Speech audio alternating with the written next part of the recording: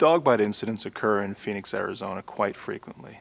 A common misperception is that dog bite incidents occur relating mainly to vicious dogs, the vicious breeds being pit bulls, Rottweilers. The reality is that most dog bites occur with animals such as Labradors, Golden Retrievers, etc.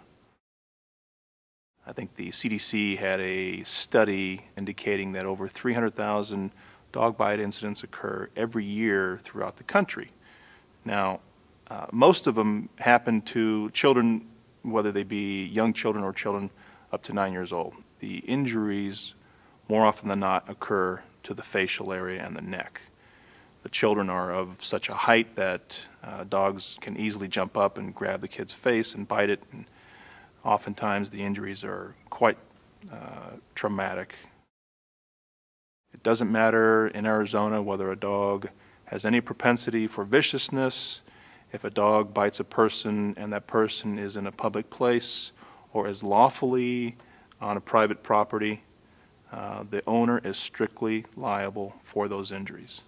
There is no defense to a strict liability claim except for provocation.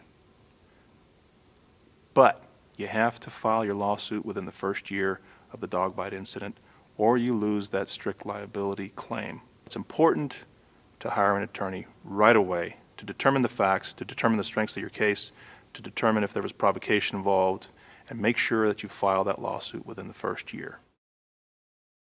I'm able to help them recover for their medical bills. Obviously, you can recover future medical bills for the surgery. If you're traumatized by the event and you have to see a psychiatrist or psychologist, you're entitled to recover for that too. These events are very traumatic. Uh, if a mother or father was to witness his or her child being attacked by a dog, the mother and father would be, might be entitled to recover as well. And on some occasions, I'm able to recover enough to ensure that a child is able to pay for his or her college education.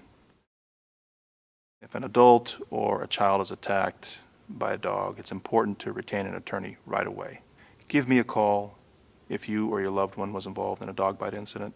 I'll be happy to talk to you free of charge. If I'm able to help you, there is no fee to me until I'm able to recover on your behalf.